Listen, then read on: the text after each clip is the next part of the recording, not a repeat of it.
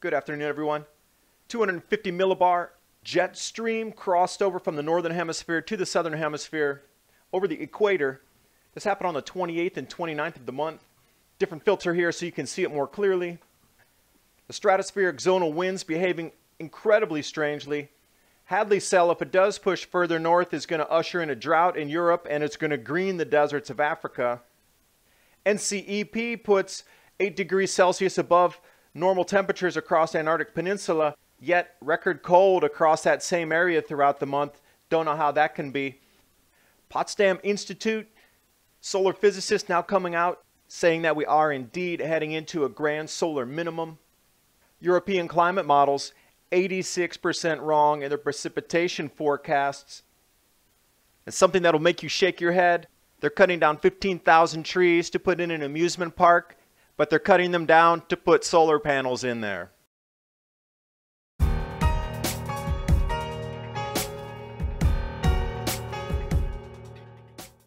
New article out today showing the 250 millibar jet stream crossing from the northern hemisphere over the equatorial winds into the southern hemisphere and joining that band down there.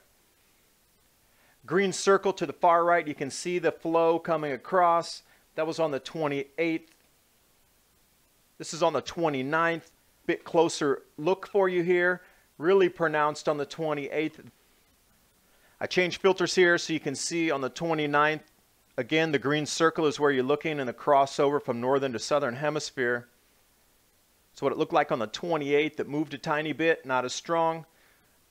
Different filter, black and white, you can easily see where the crossover is occurring.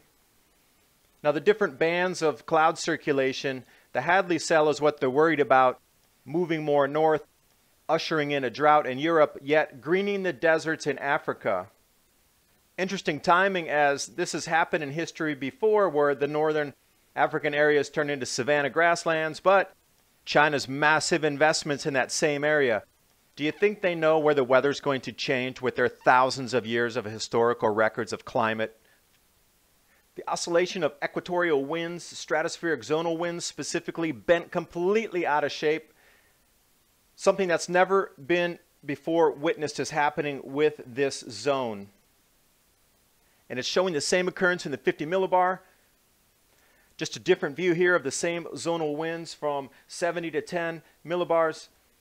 Taking a look around at the 30 millibar wind forecast, you can see how it's twisting and something is definitely off versus the last 40 years of data.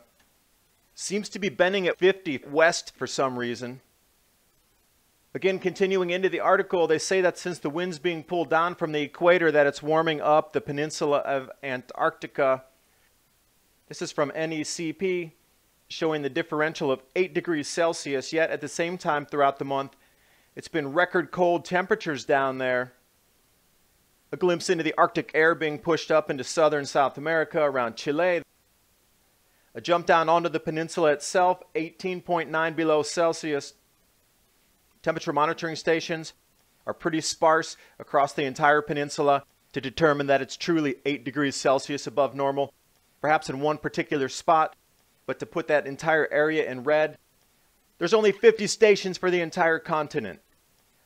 And looking over at Greenland, there's actually more stations on Iceland than there are on Greenland, yet they keep telling us they have all these measurements. Over the last few years, there has been a little bit of warming up in the peninsula, but that's due to underwater volcanic activity. A look at the number of volcanoes, active volcanoes that are undersea or under ice across the western part of Antarctica and the peninsula. A dive in on the map in case you want to take a closer look. These are the actual volcanic ridges underwater at the Drake Pass. Temperatures going back to 1979 for both Arctic and Antarctic. You can see there's undulations and if you like colors better, from 2005 for the last 10 years until now, you can see where it's warmed or cooled during that particular time. It's especially showing a lot more blue and cooler over these last two years. Shifting gears, Potsdam Institute now, their solar physicists are saying that we're going into a grand solar minimum. But then take on top of this, the European climate models are 86% wrong for their precipitation. They were saying it's going to dry out, but now there's more rain than ever up there. 9% below normal sunlight coverage because there's so many clouds. And to top it all off, the silliness of the week Six Flags is going to cut down 15,000 trees to install a solar array inside their theme park. They say that it's 31 times more CO2 emission reductions than keeping the trees there. I wonder what's going to actually make our oxygen for us. Do you think we're going to have to pay them to process CO2 out of the atmosphere back into our breathable oxygen and buy it by the bottle eventually? These guys cutting down this many trees for solar panels? Come on.